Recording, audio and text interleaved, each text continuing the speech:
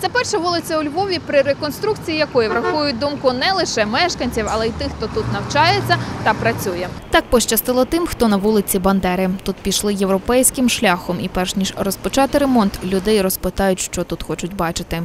Студенти про проект не чули, втім мають свої міркування. Цей тротуар зменшити, збільшити дорогу, збільшити проїзну спроможність цієї вулиці, тому що в час пік вона абсолютно все загружена. А от керівництво університету ідею проекту схвалює, вже навіть знають, що запропонують. Було би дуже бажаним, якщо, якщо це би дозволили, наприклад, можливості інженерів в тому числі, от на цьому місці влаштувати підземний перехід. Ми є дуже зацікавлені.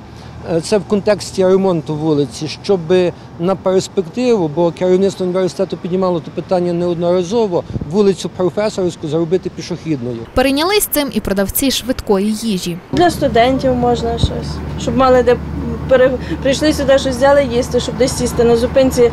Тут стоять, ну нема де місця їм, щоб перекусити щось. А от керівництво школи розповідає, вулиці не завадили безшумні трамвайні колії. Світлофор на перехресті героїв УПА Бандери треба обладнати по-іншому, бо на зелене йдуть пішоходи, їдуть машини. А ще слід прибрати стихійну торгівлю. Вони створюють і незручності для того, щоб переходити, займають тротуар. Е, По-друге, е, вони свої, е, наприклад, розміщають коробки в- на клумбі під школою. Часто просяться в туалет. Ми не можемо їм цього дозволити. Проект вулиця для всіх львів'яни перейняли у німців. Рік тому у Лейпцигу у такий же спосіб завершили ремонт вулиці Карла Ліпкнехта. Там реконструкція тривала три роки.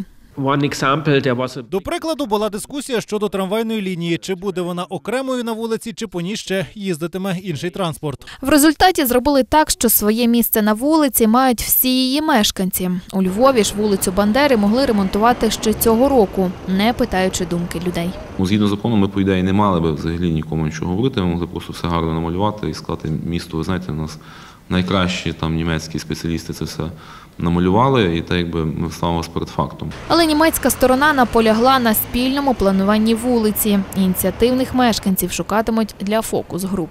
Це орієнтовно буде 5 або 6 груп, які представляють інтереси вулиці. Так, тобто це будуть і мешканці, і студенти, це користувачі там транспорту громадського, це автомобілісти, велосипедисти. Перша така зустріч відбудеться вже 1 квітня о 18-й в бібліотеці на Устаяновича. Ірина Панчишин, Олег Кухар. Головні новини Львова.